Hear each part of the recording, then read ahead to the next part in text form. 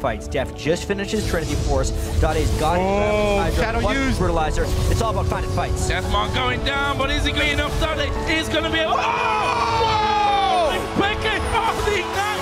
Not enough to We finish. get to see this 1v1 again. So the shadow goes down immediately. Dade sees him. I think he canceled his auto attack there. Using Great the ulti from Peke. while Dade was in his own ultimate to avoid the second part of the damage. And then this flash, plus he landed Without not letting Flame really get the damage done. He finally had to push it too far and died. Ooh, Dade, Dade, Dade trying to catch Ambition here.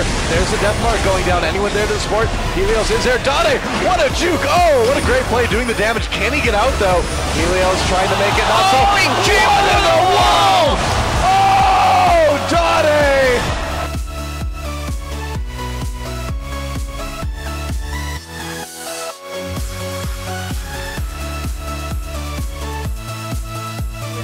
some interference.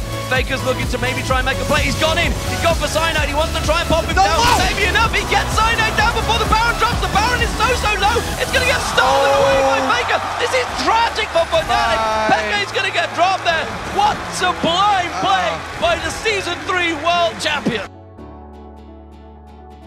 The shockwave only catching on Deficio. Stranglethorns, meanwhile, bounces up three members. J-Re gets caught. That's the death mark onto Kratos. Bukes is going to try and get it. He finishes it. Picks up a double kill. Ferello gets in. It's a triple kill. Aranea is going to get taken down. Bukes gets a quadra. Quadra kill Bukes and comes in like Superman. absolute decimation.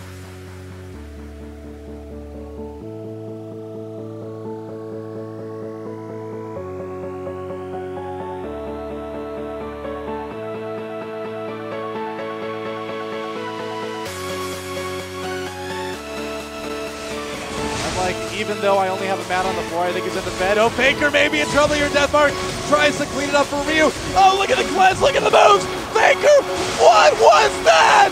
Faker with a huge play, the QSS. I can't believe I just saw he that. actually won that duel I can't as believe that SK happened. Telecom I'm just my mind. charges into the KT Bullets face. Oh, wow.